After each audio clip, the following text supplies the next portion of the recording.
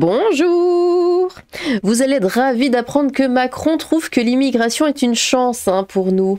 Oui, oui, ils le disent toujours. Il continue. En contradiction avec la réalité, c'est ce que dit Macron euh, à Retailleau, hein, qui estime que l'immigration n'est pas une chance. Donc Macron dit, bah si, euh, si, c'est une chance l'immigration, enfin, on le voit tous les jours, regardez.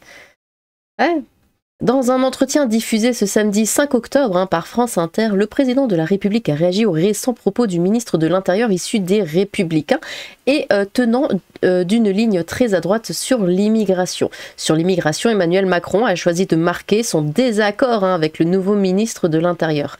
Invité à commenter euh, de récents propos de Bruno Retailleau, c'est Retailleau qu'on dit, qui estimait dimanche que l'immigration n'est pas une chance, le président de la République a jugé ce samedi 5 octobre qu'ils étaient résolument en euh, contradiction hein, avec la réalité.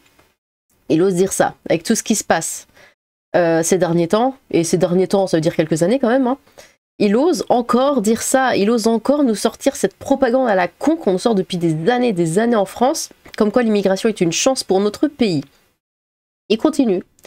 On aurait pu décider qu'on aurait euh, mieux fait de la physique nucléaire sans la polonaise Marie Curie. Oh, yeah, oh ah oui, c'est bon, j'ai compris. Allez, ça part là-dessus.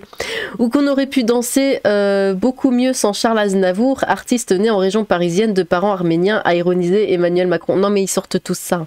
Quand on dit oui, non, mais l'immigration, c'est de la merde, en fait, pour notre pays. À chaque fois, ça sort Marie Curie et Charles Aznavour. Toujours toujours. Mais euh, sinon, enfin, je sais pas, ces 50 dernières années, qui, qui euh, est une bonne immigration? Il n'y a pas d'autre nom, hein, ça, date toujours, hein, il n'y a pas d'autre nom plus récent. Euh, a ironisé Emmanuel Macron, du coup, dans un entretien diffusé par France Inter et enregistré le 1er octobre. Est-ce que l'immigration c'est mauvais? La réponse est non, ça dépend. Alors, faut savoir, la réponse est non ou la réponse est ça dépend, mais ça peut pas être non, ça dépend. Euh, a-t-il encore avancé? Est-ce que l'immigration du continent africain est-elle mauvaise en général? En vrai, pas totalement. Pour le président de la République, la France est un pays ouvert depuis toujours, fermez-le Et qui a vécu euh, de l'immigration européenne, non européenne, mais qui est bousculée aujourd'hui comme beaucoup d'autres pays en Europe. Oui, comme beaucoup d'autres pays aujourd'hui, bousculés. Il faudrait peut-être faire quelque chose. Cette réalité. Euh... Attendez, un bruit. Oh, oh, attendez, il y a un pigeon. Il y a quelque chose qui colle là contre la fenêtre. Oh, il y a un pigeon, il est tout gros, tout gras parfait pour Noël celui-là. Pardon. Euh, du coup, cette réalité, elle est très dure à vivre dans tous ces pays. On y répond euh, tous imparfaitement, sans doute moi le premier, a concédé Emmanuel Macron euh, au cours de cette interview accordée dans le cadre du 19e sommet de la francophonie. Cette réalité, elle est très dure à vivre. Oui, en effet, la réalité est très dure à vivre en ce moment dans tous les pays européens. Hmm non mais c'est bien de l'admettre. Notre richesse est une force, plus qu'une chance. Les millions de binationaux et de Français issus de l'immigration sont notre richesse. Non mais il continue, hein. et une force à marteler le chef de l'État pour qui la difficulté du moment est de parvenir à lutter contre les trafiquants d'êtres humains et les filières d'immigration clandestine. Je n'ai jamais croisé quelqu'un qui quittait heureux son pays pour passer euh, dans la main de passeurs, euh, prendre tous les risques et traverser le désert puis la mer, manquer de mourir dix fois et arriver dans un pays qu'il ne connaît pas, a-t-il poursuivi. Non mais ils viennent pour la CAF, ils sont très heureux. Tu les vois, ils sont tout contents. Et, ils ont leur machette là et leur couteau comme ça euh, en l'air, ils sont là, ouais c'est bon, on va aller pouvoir buter du blanc. C'est ça, hein, la réalité. Quand les migrants fuient la guerre, il n'y a pas de guerre. Les troubles, il n'y a pas de troubles. Nous devons les accueillir. Non, a résumé Emmanuel Macron. Quand il fuit pour des raisons économiques, aidons les pays d'origine à mieux réussir. Non Au bout d'un moment, faut arrêter. La France, on n'est pas l'assistante sociale du monde. faut arrêter avec ça. Ils ont des problèmes dans leur pays, bah tant pis. Nous aussi, on a des problèmes. Mais, au bout d'un moment, enfin, qui, se démerde euh, Dans le camp présidentiel, Emmanuel Macron n'est pas le premier à avoir ouvertement critiqué les positions du nouveau locataire de la place Beauvau. En début de semaine, l'ancienne porte-parole du gouvernement Prisca Thévenot avait notamment écrit sur son compte X que notre langue permet de faire la différence entre immigration illégale et légale. La première est à combattre, la deuxième à contrôler. Ne pas faire la distinction fait euh, le lit du RN, avait-elle affirmé. Bon. Bah, pas. Si, le RN fait complètement la distinction entre ça. Ils ne veulent pas d'immigration illégale. C'est tout. Mais ceux qui sont là, qui ont leur papier, qui bossent et qui n'ont aucun problème, euh, bah, bah, tout va bien avec eux. Mais bon, ils ont du mal avec ça aussi. Hein. Écoutez, euh, moi je suis allée à Strasbourg là, récemment. Et Strasbourg, c'est ma ville. Hein. Voilà, c'est là que je suis née, c'est là que j'ai grandi, c'est ma ville à moi. Oui, elle m'appartient. Euh, c'était affligeant. À chaque fois que j'y vais, parce que maintenant, comme je suis partie à la campagne, j'y vais un peu moins. Et du coup, à chaque fois que j'y vais, c'est de pire en pire. Là, j'y suis allée, écoutez, il n'y avait que de l'immigration. Il n'y avait que des Arabes partout, un peu de Noirs, mais beaucoup, beaucoup, beaucoup, beaucoup d'Arabes, beaucoup de voilés, énormément de voilés. Et la ville est devenue sale. Mais vraiment, elle est sale le sol est sale, il y a, plein de cochonneries, il y a plein de déchets partout, c'était pas comme ça avant. Je suis allée dans un magasin, le magasin était sale, il y avait que des voilés dedans, mais que ça, vraiment que ça. en fait, on rentre et on veut sortir tout de suite parce que on voit qu'on n'est pas à notre place, c'est pas fait pour nous. Et le, magasin, mais était crade. Mais j'avais l'impression de rentrer, je sais pas, dans une porcherie. Enfin, et franchement, j'ai fait un tour, je suis restée deux minutes dedans et je suis tout de suite ressortie. Je me suis dit non, c'est pas possible. C'est pas possible. Et c'était pas comme ça avant. Et toute la ville devient sale. Et il y a que ça, il y a que des, voilés partout. Et mais je me suis dit mais je suis pas en France. Qu'est-ce que c'est que ce truc? Mais c'est pas ma ville ça. Elle est où ma place là là-dedans? C'est qu'est-ce qui est fait pour moi maintenant ici? Ça c'est incroyable. Incroyable. Et euh, je sais plus si je vous en avais parlé, mais, euh, mais pareil, euh, la, ville où, où j'habitais avant, j'y suis aussi retournée. Euh, la boulangerie dans laquelle j'allais, j'adorais aller, en plus ils faisaient des pâtisseries un peu spéciales et tout qui étaient super bonnes, elle a été rachetée par des Arabes, évidemment, qui maintenant font tout halal, ils ont dit, oh, parce que j'ai demandé, j'ai fait, bah oui, mais vous allez continuer de refaire les mêmes choses, euh, oh, bah disons que bah il y aura pas de porc, hein, puis ça se marre, euh, ok, ouais, super. Et puis non, bah toutes les pâtisseries on les change, voilà. et il y avait un snack. En fait, j'étais dans un snack à ce moment-là, un snack où j'aimais aller et ça avait été racheté. Et du coup, j'ai bah, demandé, je fais, bah attends, mais ça a changé de propriétaire ici. et ils ont dit, oui, on a racheté ici et on a racheté la, la boulangerie-pâtisserie d'à côté. La même famille. La même famille a racheté les deux, la même famille de Muse. Et j'étais là, j'ai ah bon? Et donc j'ai posé mes questions sur la pâtisserie parce que moi, je, voilà, je m'entendais en plus très très bien avec, euh, avec la gérante et tout. C'était super sympa. Et là, j'apprends que voilà, bah, a pu. a pu. Je suis partie il y a quelques mois seulement. Et ils ont, ils rachètent tout. Le Lidl qui était juste à côté, bah, il s'est devenu un supermarché euh, halal. Voilà, c'est, il y a que du halal, il n'y a pas de, il y a pas d'alcool, il y a rien. C'est vraiment un truc pour musulmans. Tous les commerces sont des trucs de musulmans. Et il n'y a plus rien pour les Français. là, il n'y a plus rien pour les Français. et bon, évidemment, euh, l'insécurité a triplé, enfin, faut le dire. Tout est crade. Et bon, je suis partie au bon moment, disons. de toute façon, j'avais envie de partir parce que je sentais que ça tournait très très mal et trop vite, beaucoup trop vite. Et euh, ouais, je suis partie pile au bon moment parce que maintenant c'est bah, voilà, islamisé, hein, c'est complètement islamisé. Et Strasbourg est en train de prendre le même chemin parce que j'habitais dans une ville euh, pas loin. Euh, c'est en train de prendre le bah ouais le même chemin quoi. Là j'y vais, je c'est consternant. Je reconnais pas ma ville. Il y a juste pendant le marché de Noël, voilà. À Noël, on est tranquille parce que bon, ils sentent qu'ils sont pas euh, à leur place euh, pendant, pendant cette période.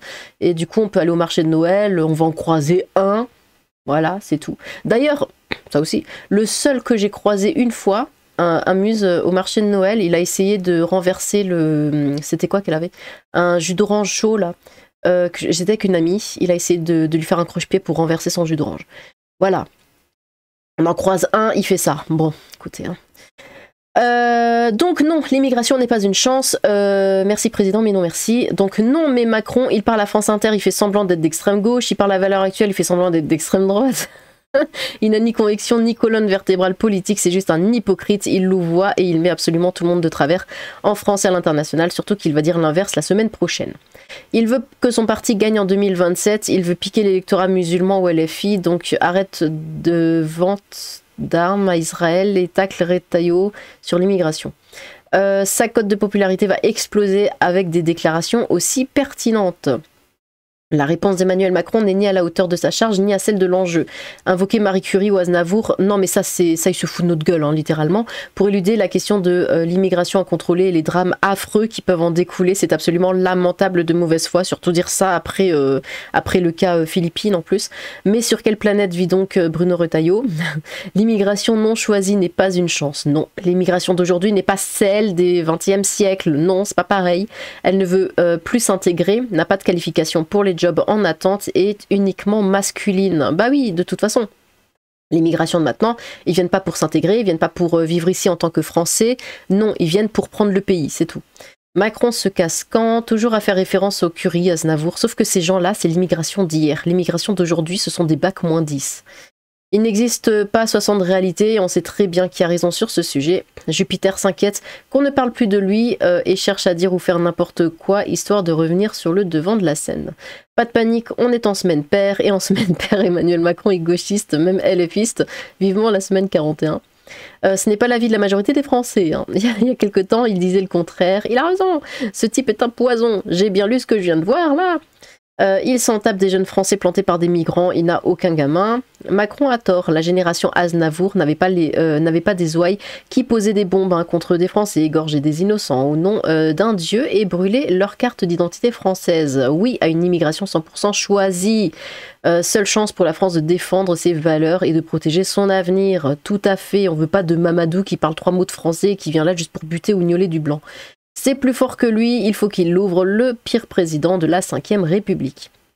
Les émeutes pro-Petit Ange délinquant Naël de juin 2023 nous l'ont bien démontré, merci. Macron le pervers a transformé la France en république bananière. Ce sale type ne pense qu'à son ego boursouflé. Vivement que Retailleau euh, parle du cannabis, alors pas vrai. La légalisation du cannabis a un intérêt euh, de ce point de vue. Mais euh, Bruno a totalement raison. Vous êtes le président de millions d'immigrés, mais aussi de Lola, de Thomas, de Mathis, de Philippines et de tant d'autres victimes. Ne les oublions pas. Euh, c'est plus tenable, il raconte que des conneries. Euh, la question, c'est qui profite de l'immigration? Le MEDEF qui veut ainsi faire baisser les salaires, les bobos qui veulent des esclaves ubérisés, les Mais oui, mais ça d'ailleurs, écoutez, quand je me promenais là à Strasbourg, parce que j'ai passé toute la journée, le soir, euh, je cherchais pour manger. je cherchais un petit truc. Et écoutez, il y avait plus de Uber que de clients dans les restaurants, enfin en tout cas devant. Il y avait que des livreurs, des Uber Eats, des, euh, des trucs des Deliveroo, tout ça. Il y avait que ça, il y avait que des livreurs. Et d'ailleurs, mais ils roulent comme des dingues, j'ai failli me faire écraser deux fois. J'ai gueulé sur un. Mais ils roulent comme des fous furieux. Et il n'y a que ça. En fait, le soir, dans la ville, il n'y a plus que des livreurs dans tous les sens. Voilà. C'est ce que la gauche mange. Les bobos qui veulent des esclaves ubérisés, les immigrés déjà présents qui veulent renforcer leur communauté. Euh, parce que Strasbourg est une ville de gauche. Hein. Ils ont euh, voté à majorité, en majorité à gauche. Hein. Et il y a des, des, des, des, immigrés, du coup, hein, qui, euh, qui les livrent constamment. La gauche qui veut une clientèle captive car a lâché les ouvriers. Et moi, en tant que femme de droite, eh bien je cuisine. Vous irez expliquer que l'immigration est une chance à Philippines, Lola, euh, Thomas et tous les autres bandes de raclures. Même en ayant choisi son gouvernement soigneusement en décalage avec le vote des Français, il trouve encore le moyen de la ramener. L'agenda 2030 euh, sera appliqué, la ruine du pays au programme. Changeons ensemble, ne pas changer d'avis, ne pas changer de... C'est quoi ça? Oh là là, Burke. Les Français doivent accepter l'islam. Le refus du multiculturalisme, c'est de la trahison. Quoi? Ça me fait penser à cette vidéo là de la petite, euh, vieille belge qui disait en fait son quartier s'est totalement islamisé. Et euh, elle disait euh, Ah non, mais écoutez, c'est bon, moi j'ai pu m'intégrer, ils m'acceptent. C'est une Belge hein, qui est dans son pays. Et elle parlait de, bah voilà, des Arabes de, de son quartier qui l'ont acceptée. Et elle a pu s'intégrer dans son propre quartier et elle était contente. Et elle disait euh, oui bon par exemple le tri alors bon nous si on fait pas le tri on a une amende. Mais eux ils ont pas d'amende hein. eux ils ont le droit de pas la faire euh, c'est bon euh, enfin de pas le faire le tri du coup. Mais ouais ouais voilà L'immigration d'aujourd'hui, ce n'est ni Marie Curie ni Charles Aznavour, hein, mais Mohamed Merah, les frères Kouachi l'assassin de Philippines. Ce sont les salles, euh, les salles de classe qui sifflent la Marseillaise ou les minutes de silence pour rendre hommage au professeur décapité. Voilà. On se demande vraiment qui est en contradiction avec la réalité. Pour vous aider, euh, si joint le bilan sur les demandes d'asile de Gérald Darmanin, à vous euh, de vous faire votre propre opinion. Qu'est-ce que c'est que ça? Hmm. Euh, il nous fatigue Emmanuel Macron. S'il était intègre, il aurait démissionné. Il ne peut plus sortir sans se faire tuer. Euh, il s'occupe d'international. Il met la honte sur mon pays. Un banquier déconnecté qui parle de la réalité. L'immigration tue la jeunesse française.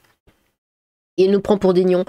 Euh, il n'y a pas une immigration, mais des immigrations. Si c'est un entrepreneur, c'est une chance. Si c'est Mera ou, Dabia, c'est un fléau. La France n'attire plus les entrepreneurs. Trop de taxes, trop de règles, mais elle est la seule favorable au Dabia. Oui. De toute façon, les entrepreneurs se cassent, même les entrepreneurs français. Écoutez, on est tellement taxés, mais on est le pays le plus taxé du monde et ils rajoutent encore des taxes. Et franchement, je nous trouve vachement dociles hein, par rapport à ça. Parce qu'on est réellement le pays le plus taxé du monde. C'est, même pas un abus de langage ou quoi. On l'est réellement. Et on dit rien et on prend sur nous. Et après, le président qui vient encore nous dire oui, il faudrait faire un petit effort, euh, tout ça, tout ça. Euh, et ça augmente encore. L'électricité, les machins, les trucs, tout augmente. Et les taxes augmentent. Et on rajoute encore des taxes sur les taxes. Et nous, on est là, on dit rien.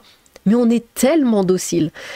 Euh, l'immigration est une chance quand l'assimilation est accomplie sans l'islam, comme chez eux pour les autres religions et modes de vie. nous sommes chez nous. Hmm. Bah d'ailleurs, regardez, j'avais euh, vu ça. Attendez, non, c'est pas là, c'est pas dans réponse. Euh, tac, tac, tac, tac, voilà. Euh, libre de débattre et d'être ben, Laurence Ferrari. Ça, c'était à Strasbourg. Voilà. Donc j'ai dit, bah, en effet, l'islamophobie, pardon, j'ai failli dire le mot, l'islamophobie est la seule chose qui puisse sauver nos villes. Parce qu'il faut dire stop à cette folie. Eh bien, dites-moi ce que vous en pensez. Êtes-vous d'accord avec Macron qui dit que euh, bah, l'immigration c'est une chance? Attendez, non, parce qu'il a nuancé. Euh, il dit que l'immigration du continent africain, eh ben, euh, c'est une chance, enfin, c'est pas une mauvaise chance totalement. ce qui ne veut rien dire, hein, on est d'accord. Et que bah, l'immigration de base, bah, elle n'est pas mauvaise, enfin non, enfin ça dépend. Bon, Dites-moi si vous êtes d'accord avec ce qu'il dit avec tant de clarté euh, ou pas. N'hésitez pas à vous exprimer dans les commentaires. J'ai hâte de vous lire. Sur ce, tchou